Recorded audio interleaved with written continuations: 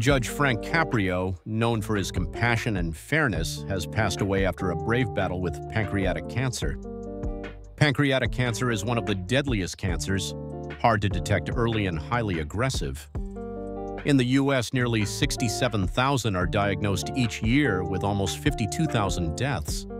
Even with treatment, only around 13% survive five years. Most cases, over 80%, are diagnosed when the cancer has already spread, making surgery difficult or impossible. But there is hope.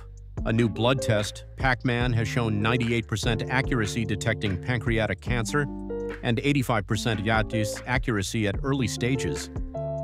And off-the-shelf vaccines targeting KRAS mutations are showing promising results in early trials. Judge Caprio's legacy of kindness reminds us how precious time is.